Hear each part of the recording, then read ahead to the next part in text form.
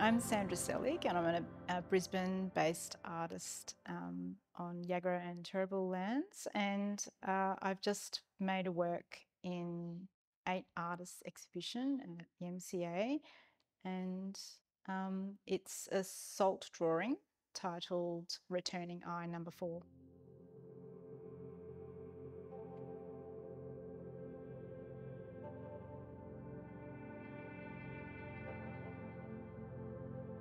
I think of the work as a drawing, as an, a drawing that's a drawing action in a way. So the work um, developed out of uh, the idea of of trying to draw in space or trying to draw in the air, much like uh, a bird might sweep through through the air. But I've I just always, always just wanted to make a pendulum, to make uh, a work out of a pendulum or just to see how what a pendulum does to this to a space to an empty space.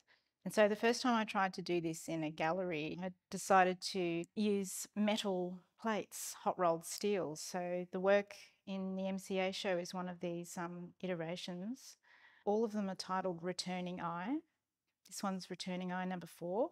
And the eye i guess refers to the way that the pendulum and the drawing moves and creates itself in the same kind of um, energy every time and creates a center and it comes back to a center every time. So I give the pendulum a push, which is my energy transferring into the pendulum and into the string and into the airspace and all sorts of other things that come into play. The weight of the salt in the bottle, um, the length of the string, the height of the ceiling. It, it it rotates and swings around and, and my energy gets imparted into the work and translated into the work. Yeah, and that becomes like a, I guess, an ephemeral example of a present, like a, a moment in time.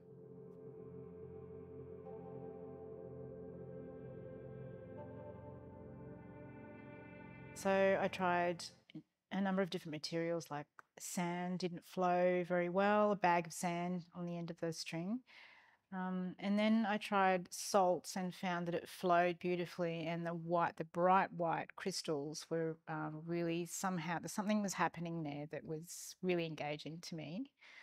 And the the drawing that it left each time I did it on the floor became um, somewhat like a diagram of of a galaxy or of or of a whirlpool or of the the trace of a, a, a comet, you know, around a planet or it's so many different things that I had kind of seen before in my my collection of science books that I have as well.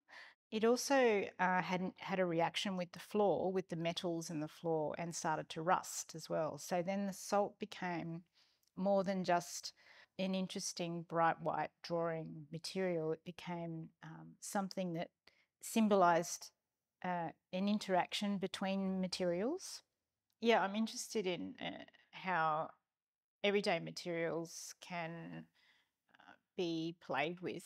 Um, for example, when I'm using sewing thread, the first time I used sewing thread, I just stretched it out across a room just to see how far I could actually still see it and then it would disappear from my vision. Um, and then kind of going from there to see how much the material will unfold or find something in the space that I don't necessarily see straight away. So I know that I'm kind of manipulating material, but I feel like I'm listening to it as much as manipulating it at the same time. I want it to tell me something that I didn't know before.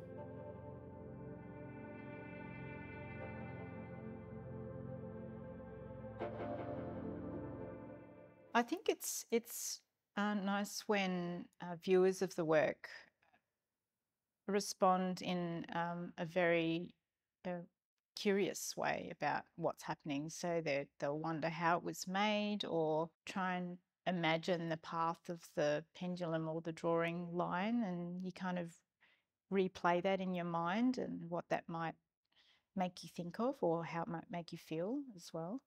and noti- noticing that there might be changes happening in the work and that it's fragile and that we'll only be here for a short amount of time as well.